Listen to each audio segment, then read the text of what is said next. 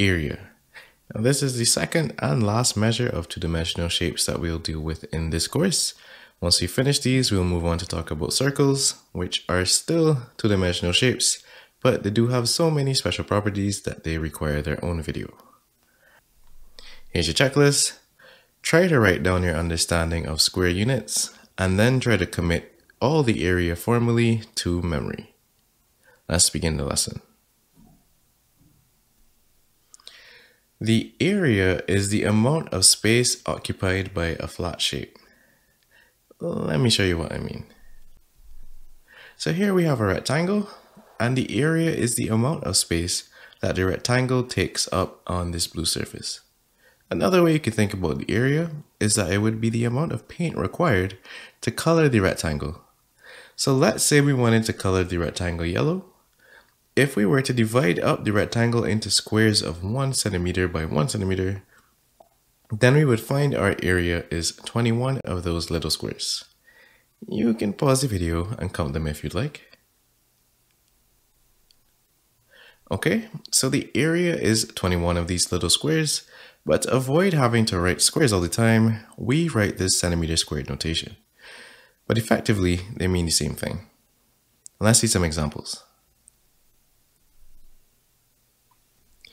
In the examples, we'll be using the area formulae. You'll definitely need to memorize these for the exam, so make sure that you set aside lots of time to do that. Okay, so the area of a rectangle is the product of its length by its width. In this case, that would be 3 centimeters by 7 centimeters, and this gives us 21 centimeters squared, just like we had before.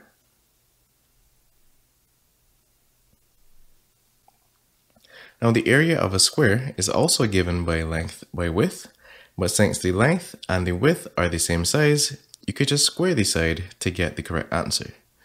So here I have width by width, which is 3 by 3, and this gives 9 centimeters squared.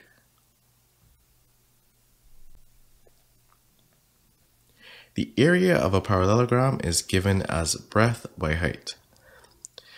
Breadth is just another word for width, and the height required is the line perpendicular to the top and bottom lines.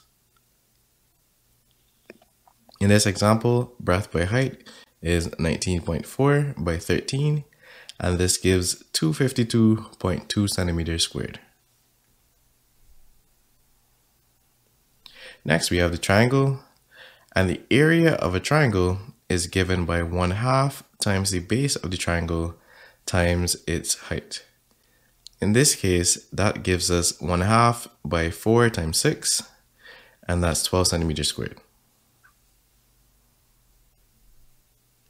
And lastly, we have the trapezium. Its area is the average of the parallel lines times the height h.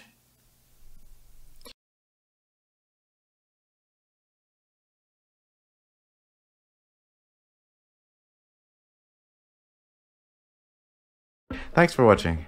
You can subscribe here if you want to get the latest from the Caribbean Scholar YouTube channel, or if you're ready, you can use the link in the description to hop onto our website and sign up for one of our premium courses.